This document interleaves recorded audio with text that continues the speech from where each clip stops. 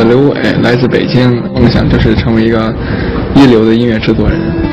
十岁那年让我感受到了生命如此的脆弱，可能在几秒钟就会失去生命。记得那年我跟我的同学一起玩捉迷藏，不幸被电意外击倒，度过了四十五天的生命危险期。但恢复意识，我意识到我可能永远的失去了双臂。啊，我就哭了。问了几个问题吧，就是我怎么样吃饭。他说你得练习自己吃饭，要不然以后我们老了谁照顾你？那时候我母亲灌输我，你没有跟别人不一样，所以我现在觉得我跟别人没有任何不一样。我只觉得你们用手做的事情，我用脚做。我妈不求我有多大多么大的成绩，她只是要求我健健康康的好好的活着。但是对我来说，我要为他们做的，就是一定要做的很成功。来中国达人秀，我的最终目标肯定是前三，让母亲很自豪的说起他儿子。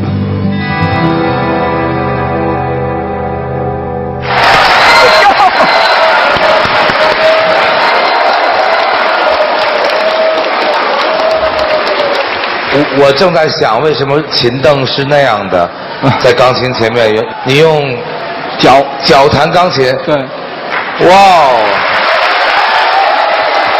那你什么时候开始弹钢琴呢？我是十九岁弹的钢琴，那刚开始学很辛苦吗？呃，很辛苦，你刚开始用脚学的时候有受伤吗？你的脚有呃磨磨破啊或者抽筋之类的。我们用手弹都磨破，大声用脚弹。因为我只觉得它是一个我的兴趣爱好，我觉得我想做的事情，我就要把它做下去。好，接下来看你精彩表演。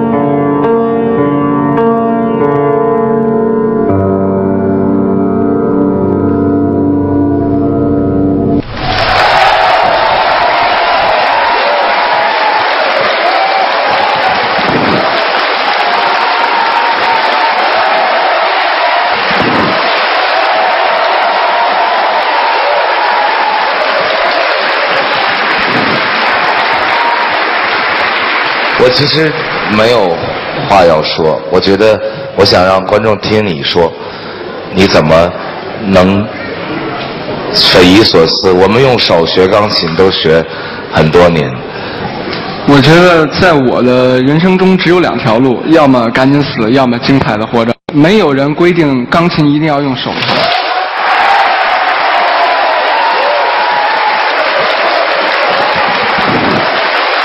我觉得，包括我自己在内，包括我们三位评委在内，包括电视机前的观众，大家看看刘伟，听听他的音乐，我觉得生活中有任何的抱怨或者不满，都应该没有了。你看看一个一个这样的年轻人是怎样啊，能弹动钢琴，而且是打动人心。我觉得我们都应该放弃所有的对生活的抱怨，像你说的，精彩的活下去。谢谢你。